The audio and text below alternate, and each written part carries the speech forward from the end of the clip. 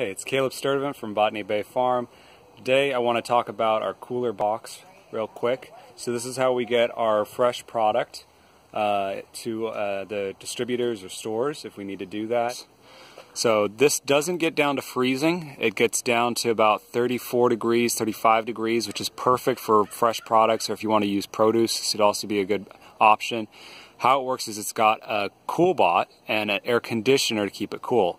So it's a double insulated box. So we used two layers of, I think, two inch foam from Home Depot and then framed it up with some uh, two by fours and then plywood on the inside and the outside.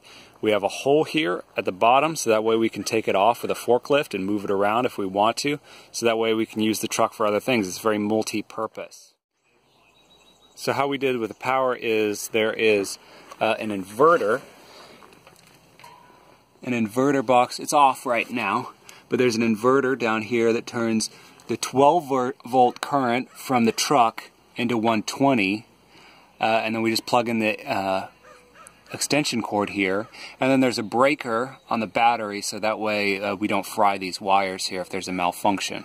What the uh, inside looks like we use these latches from Amazon to hold it closed. So there's the air conditioner and then the Coolbot is above it. It's off right now. But this gives us uh, a good amount of space, a little over a pallet that we can put in there uh, worth of goods. And it stays cold um, down to 34 degrees.